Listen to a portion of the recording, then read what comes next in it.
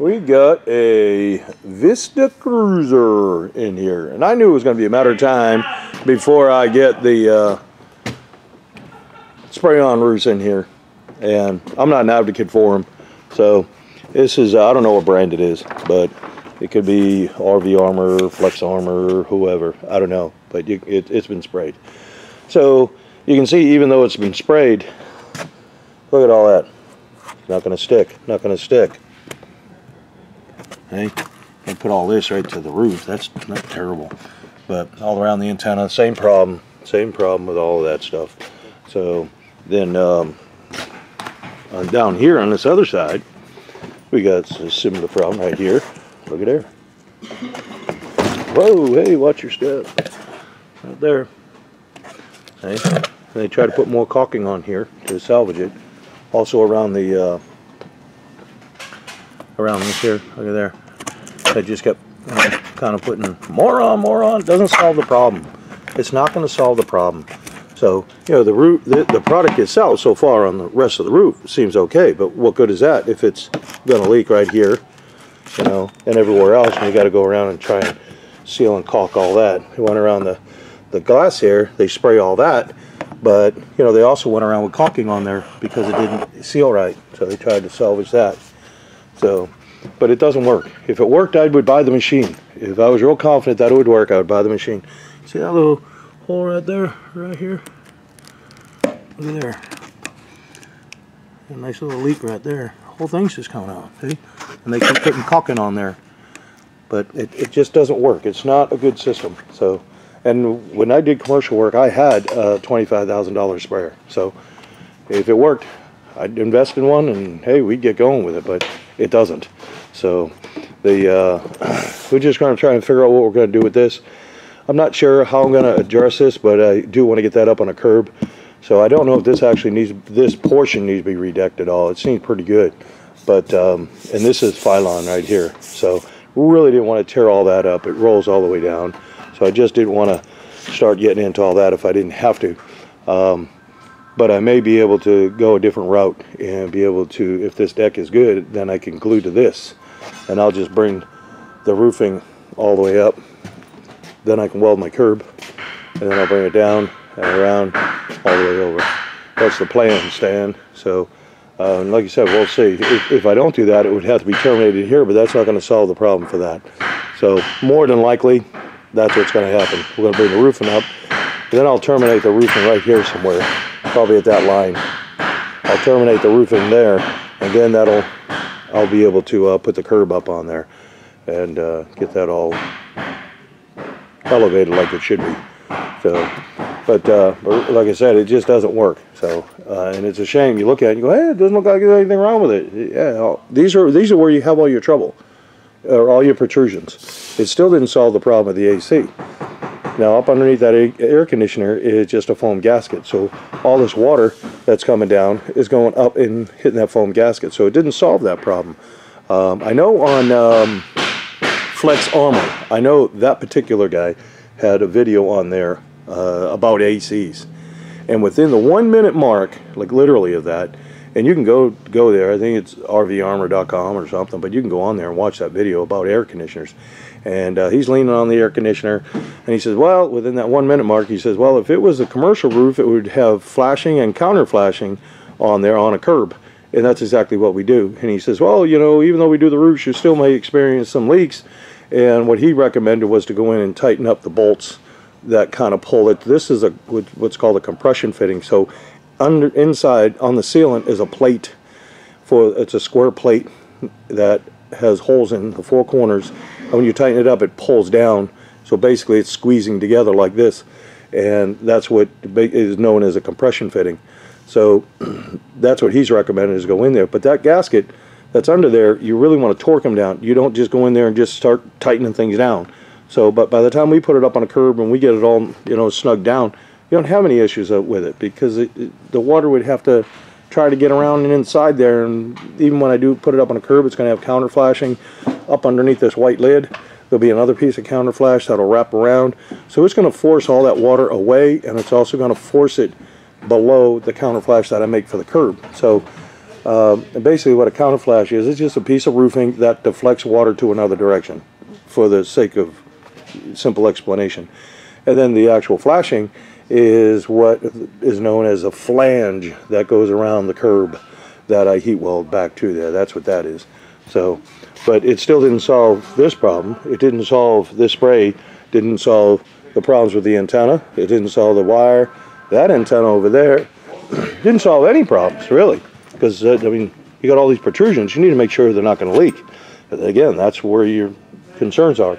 So, we, uh, I know I see some stuff here. We'll, we'll seal all that up, you know, afterwards. You can see some right here, too. There's just a, a rear cap, but water's still going to get in there and travel somewhere. We got a split right here. So we'll take care of that too. We'll figure something. Maybe we'll put some epoxy in it or something. But I'll put a backer in there once we get this.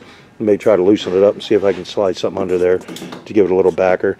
I also have another little doodad. It's uh, what they call a hot stapler, and you can go in here and you can almost stitch it back together, and that's pretty pretty cool. Um, and then we can just hit it with some epoxy, kind of just make it look a little better than what it is. And then uh, I don't know, maybe hit it with a decal or something. I don't know. Just I'll figure something out to make, try to make it look clean. But um, like I said, and also it doesn't have any gutters on this on this coach. We need to get gutters on there. And there's uh, let's see on the other side. No got theirs either. That's kind of odd. Why would they not have any gutters on there? And you pay good money for them. All that water is just going to drool down and ruin your decals and everything else. So, then uh, you also want to check your, your awnings right here. Sometimes you'll see little tears right inside there, little rips. So you want to look for that on there. This uh, is going to have to come off anyways because, like I said, we got to get up underneath here and see what's going on and then get a gutter on there. So if I don't have to take it off, I won't.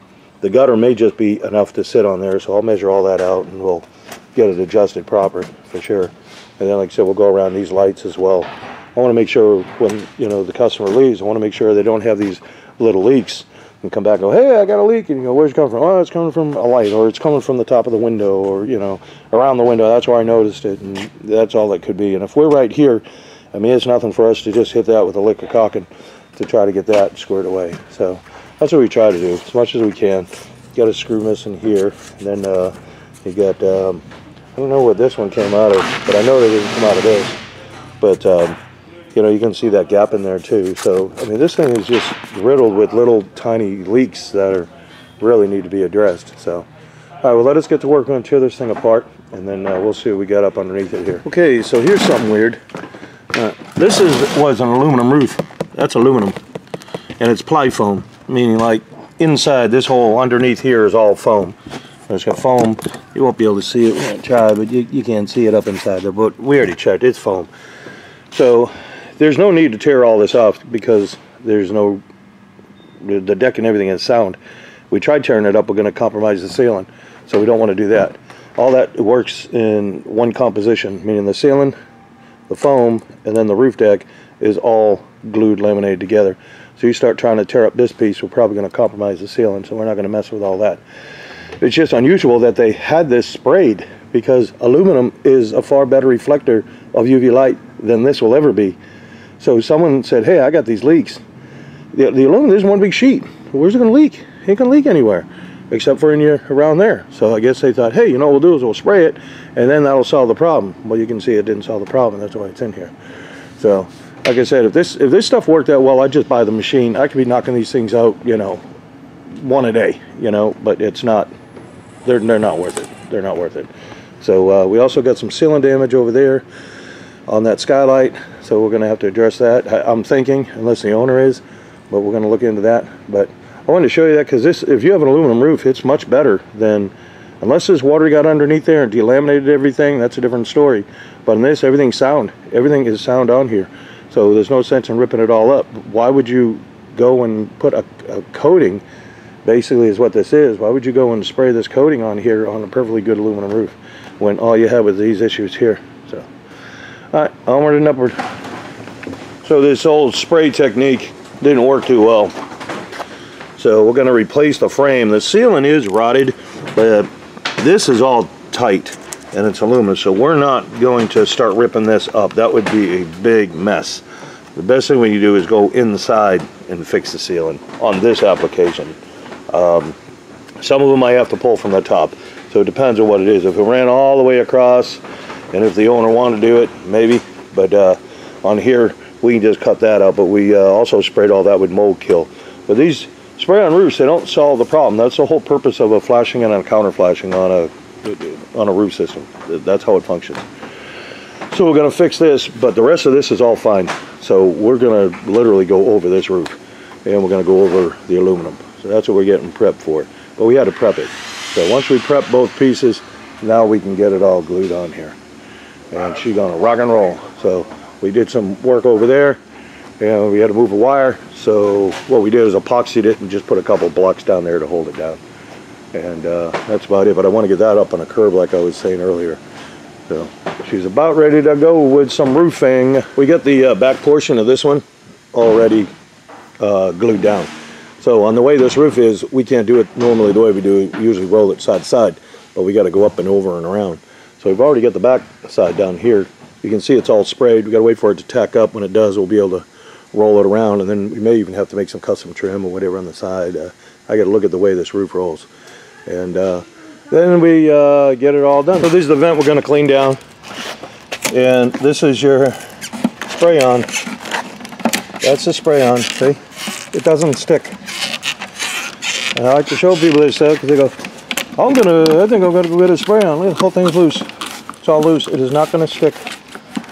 It won't stick to that plastic. So, I mean, it'll pop right off. And that's where the leaks are coming from. Everything was just soaking right in there. Because you know way up inside there, we'll have to open the vent, but the water's gonna get in and kind of get around that way. Look at there. This guy, look at the size of his arms. See how small they are? If he can rip this apart, then, you know, this didn't have a fighting chance. Look at there. Employment by intimidation, It's like, boss. like paper mache. Paper. That's how they say it in Boston. Paper mache. is really a almost no R there. They take all the R's and they ship them down to Georgia where they say pizza. Is there an easier way to turn that? Yeah, yeah. I wanted to show this come off. See how slick that is in the back? I can't get That's smooth. That's smooth. So I'll uh, we're gonna take this apart here, but I want to show everybody because they they think that spray on stuff is good. If it was any good, when I did commercial work, I had all these spray equipment and I had high dollar, um, you know, machines, and you know, if it was worth it, like I said before, I, I would have bought one and I would have sprayed it. You know, I mean, I'd get into it, but uh, they just don't work. Our Vista Cruiser is done. It is leaving us complete. One of the things we did, we had some trouble with the uh, inside in the bathroom. That was not looking well. Hopefully this light will show you. We just cleaned this thing too. I don't get no. There you go. We'll make sure I don't get any booger in here. What we did is a all new ceiling, and uh, really what that is is a piece of Filon. It's siding. so we put that in there. We fixed the frame around the skylight. We got all that. The frame around the uh, around the vent. We did all that as well. So other than that, it's ready to go. It looks nice and clean. So uh, we got that done. I'm gonna go upstairs and uh, I'll show you the right on the set. All right, we are done. So we got our logo on here. All be all right. We just put that on. There's really a stamp. I don't know if you're not advertising. You hardly see it unless you're in a plane, I guess, or some higher elevation than this camper. But uh, we have February 2022 right there. So we put that on there so we can keep track of the roof when it comes back for inspections, or if the customer goes to sell the coach, we don't want someone to say, "Hey, you know, by the way." uh, you, you know, I need to talk you down because, uh, you know, all these roofs are bad and so forth. So you saw this was a spray roof. So let, I'll start over here and show you what we got. Well, one of the things we already did is we, I just put a decal on here because that was cracked and we just want to fix it. So we epoxied that and that was the best color I could find. It, it's not a perfect match by no means, but um, it at least kind of conceals all that and keeps it watertight. So um, and I want to thank the customer for bringing the coach here. We appreciate you know the, the work, we really do, and uh, appreciate them trading with us. So we got a new skylight lens, and this is an exhaust fan. It's a solar exhaust fan. So a lot of the damage that happened right around here was probably two part. One being that the condensation gets built up on the outside, on the outside, and on the inside there's still condensation. It has nowhere to go. So when the sun comes up and evaporates it off, yeah, I know I busted my finger, my thumb. When the uh, when the sun comes up and evaporates that off, all the moisture underneath there, that frost and so forth, when it condensates, it will drool down, and then the roof deck wicks it up, framing and so forth. So this is the intake right here. So really what there is is a trough in there, and when the solar fan kicks on, then it'll draw all the air up around the inner lens and it'll just keep air moving through there. So that move, that air moving through there should rid the um, the condensation issue. You can park these outside. These are commercial roof. The whole thing is a commercial roof, so there's no reason to. You can, if you want to, obviously park it inside, uh, your option, but it's not going to solve. Some people want to put them under a carport, and I'd rather see them out in the sun. So again, because even if it's under a carport, you're still going to have that condensation issue. However, you're not going to have the sun coming up on it, but still, the, if the temperature warms up, then that may start to evaporate off some of the moisture. But you get my point. You can leave them outside. Um, so you can see also if you look in here, some people are subs here. Uh, you try to give us some comments. Well, we don't, we do not put any screws in those anymore. Don't put any screws in them. If you replace your own, but you have to use a really good adhesive. So, um, you know, make sure you do that. So I'm not saying don't put the screws in. We just don't. We don't because these things here, they need to be drilled out, and this is going to expand and contract. And when it expands and contracts, either pulling or pushing on a screw. And I've just had my fill with cracked lenses, so we just had the heck with it. Um, then uh, obviously we got our curbs down here. You can see we got the uh, stands in the back of the air conditioner there. There's a plumbing vent, obviously a new base and cover, and then we have our Winegard on here. This uh, Winegard automatic we put the boots in there and there's some studs right there so if this fails that's going to be a 3 8 stud so it's a 9 16 wrench point over here 9 16 wrench and then you can just take it off undo the coax on the other side undo the coax on the other side and then go back to the go to the store and get another one so we also put a piece of counter flash that's what the black is that counter flash what it does is it keeps the weather up underneath, I'll back up a little bit, up underneath here is a foam gasket on the air conditioner. And what I don't want to have happen is when the rain comes down and you're driving, especially that wind wants to kind of push all of that moisture and everything into the foam gasket. I don't want it doing that. That's what this piece does. It'll get it below. We have a built-in counter flash on our curbs. All of them have them. And that counter flash right there will get it below this so it'll come off the roof. That's the design of that. So you can see how we brought this up and then we made new curb for the emergency hatch. And then this was our problem here because this was all sprayed. So we just formed this up, fabricated it all, and we did the same on the other side. So everything's good to go. Um, and that's this is so let's see what else we got. Uh, insert trim. This is a special insert trim that we use.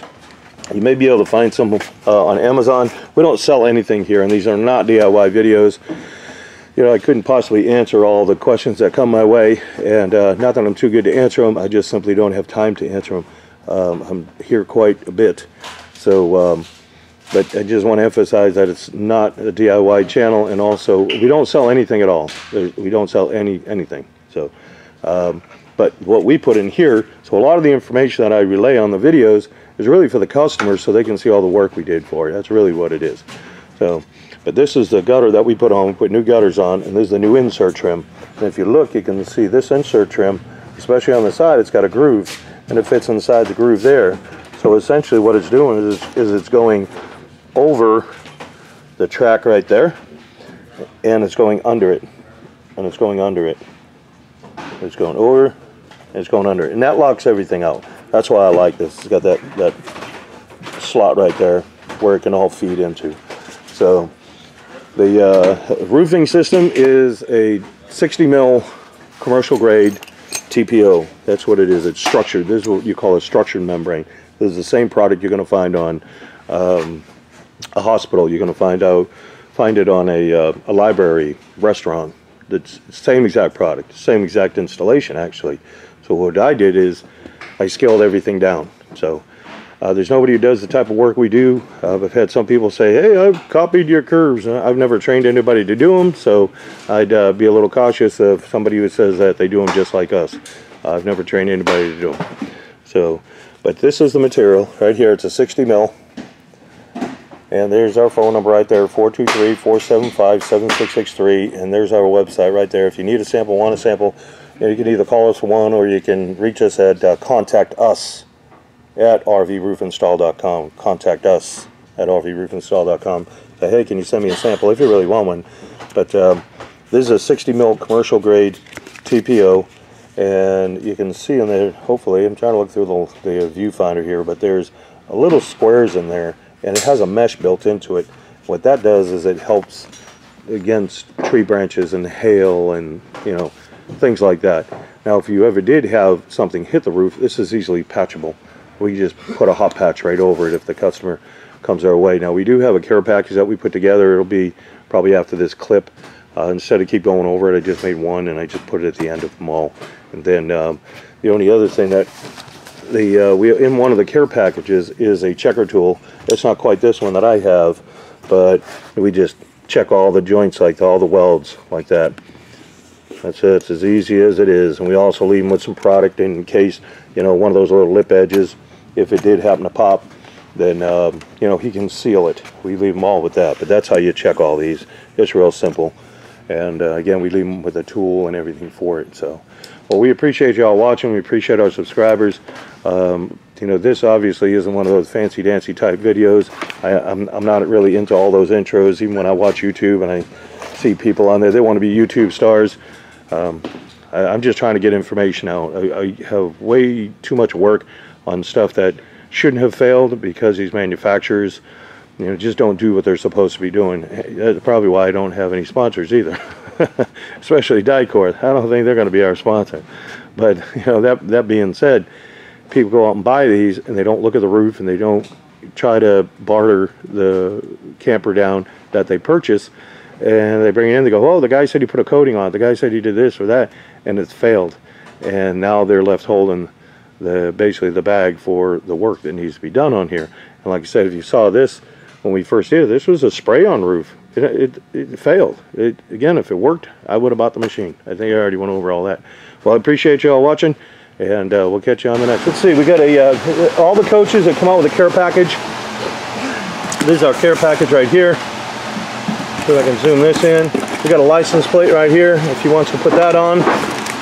We've got, this is a piece of patch. It's an emergency patch in case he got a tree branch to come down and if he had to uh, patch it now this is a hot patch this is the one that we would use much like much like this one around here it's just the same material but so that would have to be welded in however in an emergency if you had a hole and we'll say whatever right here if you saw it in there you take this and shove it in that hole and you go squirt squirt squirt squirt squirt all around in a circle like that and load it then you squeeze it it'll bubble up that's done this is a moisture cured product that's what we use we use all, all Chemlink products. This is Duralink. That's what we use. So that'll seal it. But then we also left a couple of patches.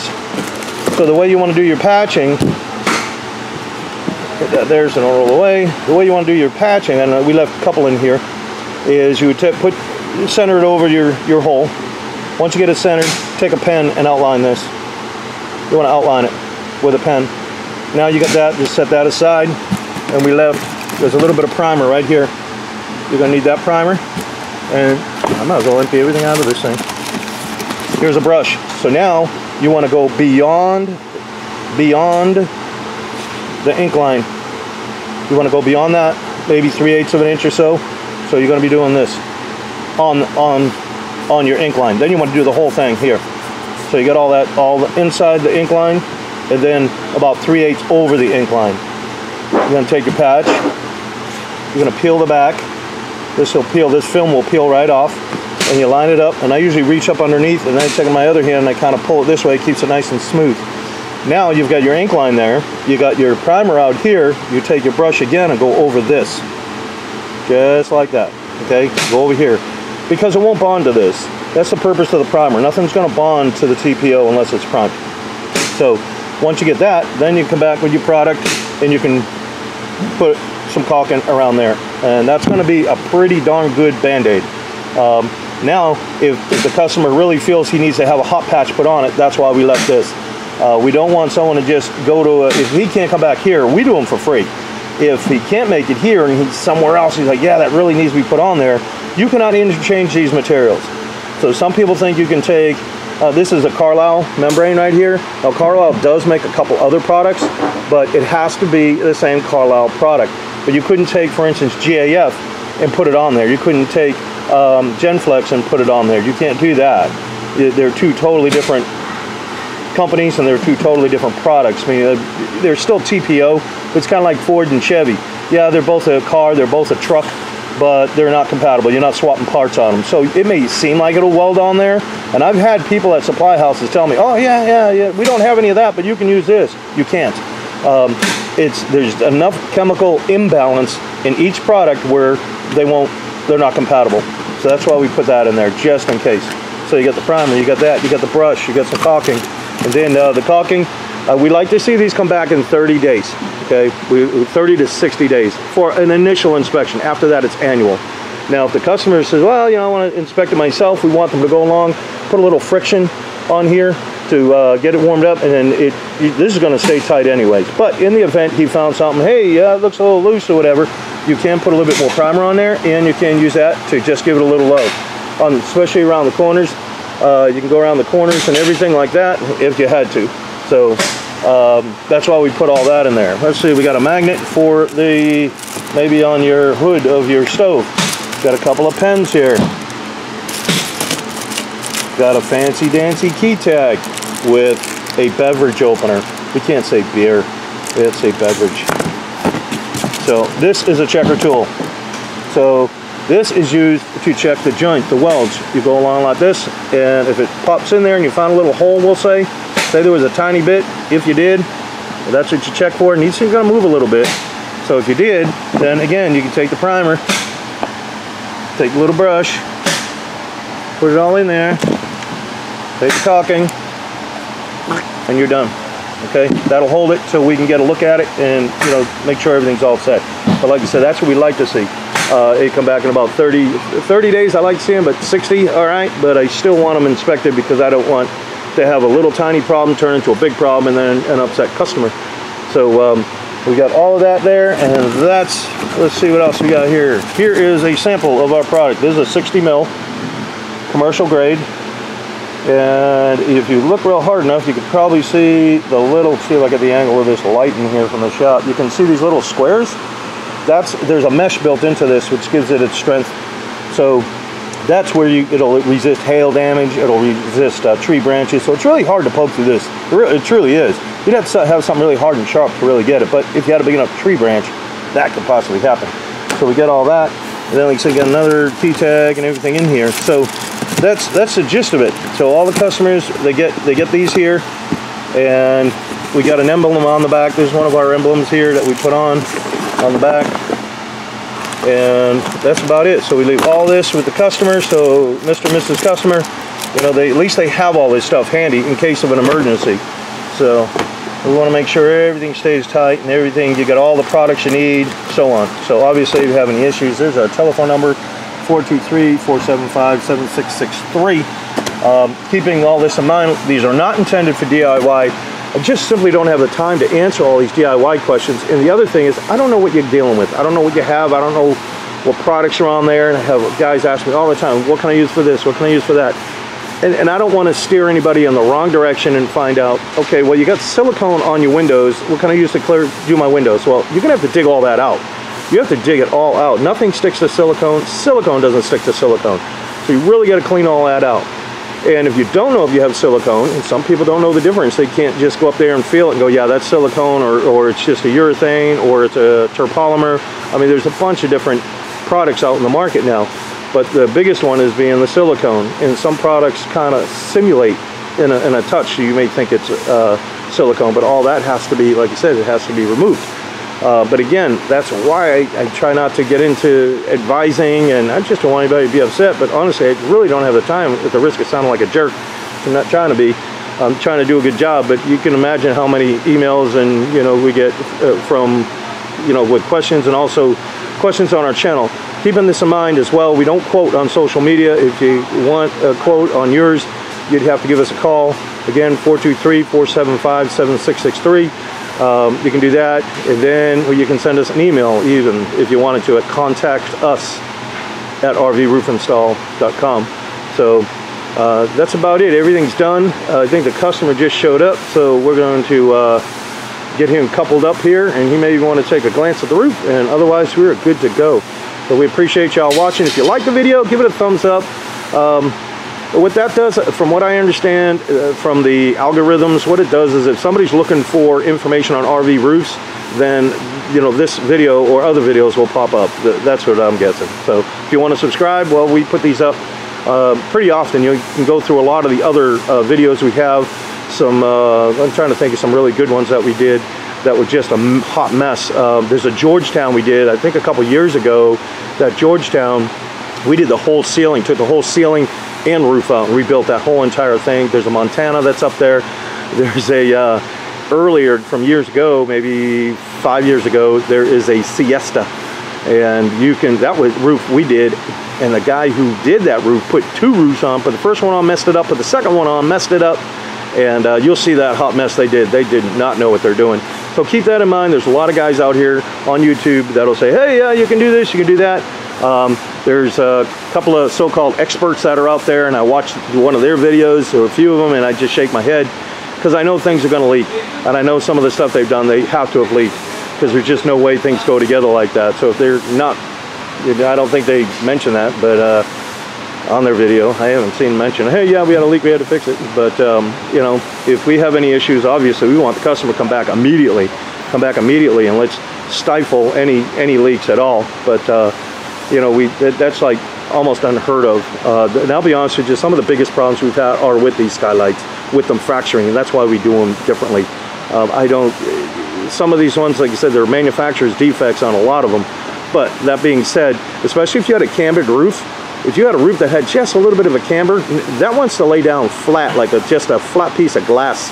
And if you just make this end tighter and that a little tighter, now it's got that little stress going on it, and it only needs a little bit of stress to crack it. So uh, that's one reason why we don't put any screws on anymore. So, and if they come back for inspection, we take all the screws out, and then what we'll do is just load them because the product that we use underneath there, it's not coming up. It won't come up. You, if you have to replace that, you're gonna have to rip up that whole entire lens, and you're gonna have to. It's not coming up. So, well, anyhow, like I said, I appreciate y'all watching, and uh, we'll see you on the next one.